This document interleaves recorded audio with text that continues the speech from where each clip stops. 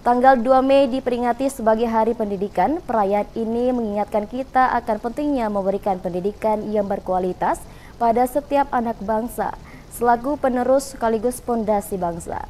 Bagaimana tenaga pendidik dan juga siswa dalam memaknai Hari Pendidikan Nasional tahun ini? Berikut liputannya untuk Anda. Indonesia memperingati Hari Pendidikan Nasional Hardiknas setiap 2 Mei. Hari Pendidikan Nasional sendiri adalah momentum penting yang diperingati lahirnya semangat kebangkitan pendidikan di Indonesia. Pada tanggal ini, Indonesia merayakan kekayaan intelektualnya serta menggugah semangat untuk terus memajukan sistem pendidikan demi masa depan yang lebih cerah. Bagaimana tenaga pendidik dan siswa didik dalam menanggapi serta memaknai Hari Pendidikan Nasional 2024? Serta seperti harapan mereka terhadap dunia pendidikan. Jadi menurut saya eh, momentum Hari Pendidikan Nasional tahun 2024 ini sebagai eh, patokan ya untuk memberikan pembelajaran yang berkualitas kepada peserta didik kita eh, agar mereka nanti diharapkan itu menjadi manusia Indonesia yang seutuhnya. Hari Pendidikan Nasional merupakan momentum bagi dunia pendidikan untuk bangkit. Masih banyak pekerjaan rumah yang perlu dibenahi, namun tidak sedikit pula keberhasilan yang sudah dicapai.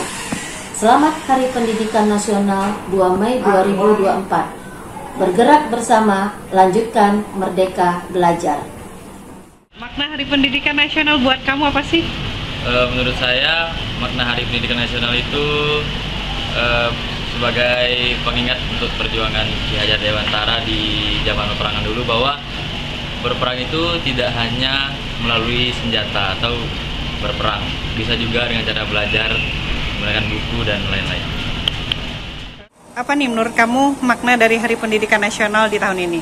Yaitu menjadi momentum lebih giat untuk belajar, meningkatkan prestasi, dan menyiapkan bekal untuk di masa depan. Harapan kamu untuk Hari Pendidikan Nasional 2024 tahun ini apa ini? Harapan saya untuk Hari Pendidikan Nasional di tahun ini agar setiap anak memiliki akses yang baik dalam pendidikan dan juga adanya peningkatan dalam segi kurikulum, fasilitas maupun tenaga kerja agar anak dapat mengembangkan potensinya secara maksimal.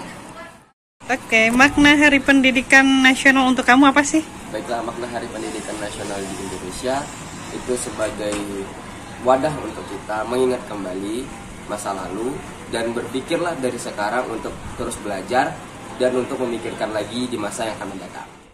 Selamat Hari Pendidikan Nasional 2024. Bergerak bersama lanjutkan Merdeka Belajar. Lina Liska, Jack TV melaporkan.